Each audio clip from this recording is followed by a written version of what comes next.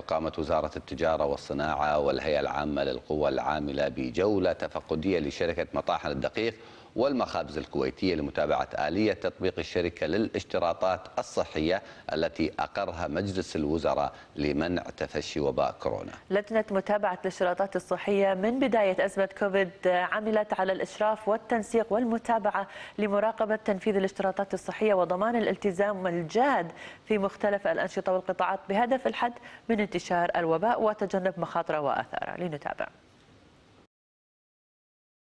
جولة تفقدية قام بها كل من وزارة التجارة والصناعة والهيئة العامة للقوى العاملة لشركة مطاحن الدقيق والمخابز الكويتية للتدقيق والمتابعة على مدى الالتزام بالاشتراطات الصحية المطلوبة في هذه الشركة العملاقة. لجنة الاشتراطات الصحية لتتبع مجلس الوزراء الموقر. قمنا في جولة تفتيشية مشتركة مع الإخوان في الهيئة والبلدية. آه، طبعا هو أن نشوف الاشتراطات أن المصانع يكون ملتزمين والمحلات التجارية تكون ملتزمين بالاشتراطات الصحية. أهم شيء عندنا يكون أن الاشتراطات الصحية متواجبة التباعد الاجتماعي لبس الكمامات لبس كذا خصوصا تدري هذه المصانع ومحلات تجارية مهمة يعني في سلامة المستهلك وسلامة هم الموظفين يكون يعني أنهم يلتزمون في الاشتراطات الصحية. الهدف من جولتنا اليوم في مطاحن الدقيق هو التأكد من تطبيق جميع الاشتراطات الصحية آه، بشكل كامل على الموظفين ومرتادين هذه الأماكن. لله الحمد يمكن إحنا نفتخر اليوم أن في عندنا شركة مهتمة بتطبيق الاشتراطات والإجراءات الصحية.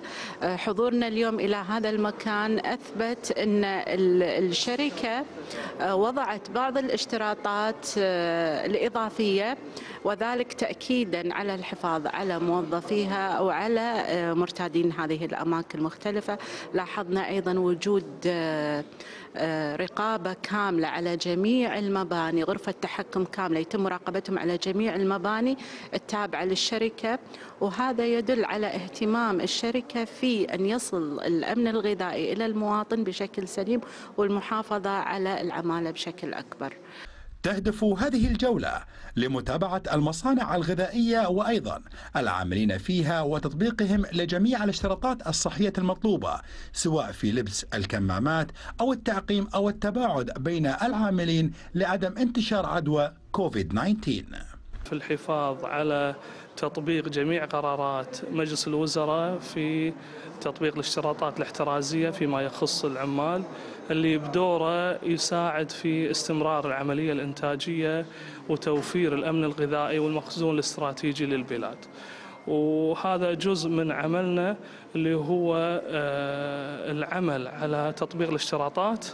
في التباعد في لبس مهمات الوقاية والحفاظ على الخطوط وخطوط الإنتاج أنها تستمر في العمل دون توقف ودون تأثير أو ضرر لأي عامل. الإنتاج الغذائي وأيضا كافة الخدمات اللوجستية والخدمية كلها تحت الاشتراطات الصحية المطلوبة. يتم تطبيقها على أكمل وجه في شركة مطاحن الدقيق والمخابز الكويتية. يوسف صفر تلفزيون دولة